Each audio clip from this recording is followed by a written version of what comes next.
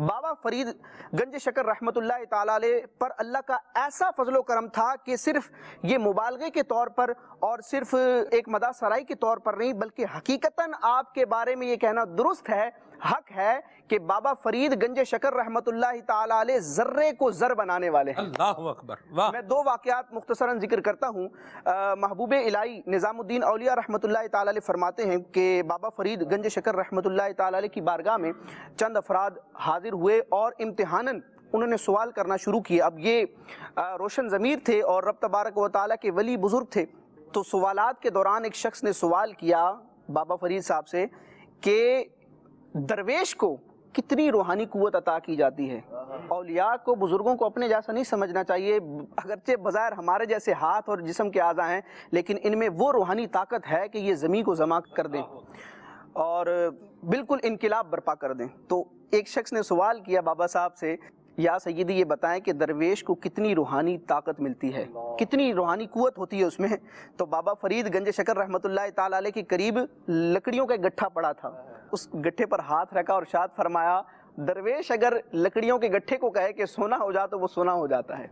आपके ज़बान से ये अल्फाज अदा करने थे कि वो लकड़ियों का गट्ठा सोना हो गया। इसी तरह एक और वाक़ा है कि एक खातून आपकी बारगाह में हाजिर हुई और फरियाद की कि मेरी तीन जवान बेटियाँ हैं और उनकी शादी का मामला है मेरी कुछ माली मदद फरमाएँ।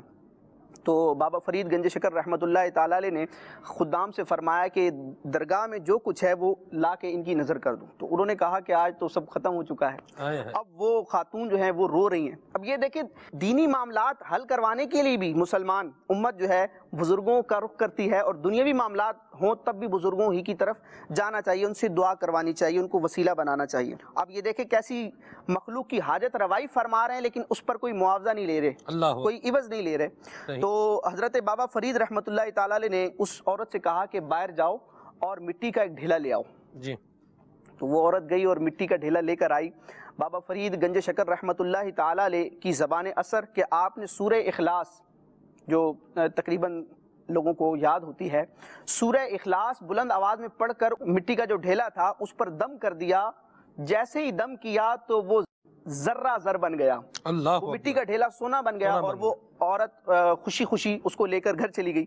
अब औरत ने क्या किया? घर जाकर मिट्टी का एक ढेला लिया और पाक होकर तहारत हासिल करके मिट्टी की ढेले पर सूर्य इखलास दम कर रही है। और वो दम किए जा रही है लेकिन मिट्टी का ढेला जो है वो टस से मस नहीं हो रहा। जर्रे से जर नहीं बन रहा। तीन दिन वो मुसलसल कोशिश करती रही। तीन दिन के बाद बाबा फरीद गंज शकर रहमतुल्लाह ताला की बारगाह में हाजिर हुई और अर्ज़ किया सईदी कि मैं तीन दिन से ये कोशिश कर रही हूँ कि मैं भी मिट्टी के ढेले पर वही सूर्य इखलास दम कर रही हूँ। वही तरीका अपनाया है लेकिन ये तो हिलने का नाम नहीं ले रहा। ये मिट्टी जो है सोना बनने का नाम नहीं ले रही। तो बाबा साहब ने तहदीस नमत के लिए रब तबारक व ताली की फजल का बयान फरमाया कि अगरचे तुमने अमल वही किया, लेकिन तुम्हारे मुँह में फरीद की जबान न अल्लाह अकबर अल्लाह अकबर।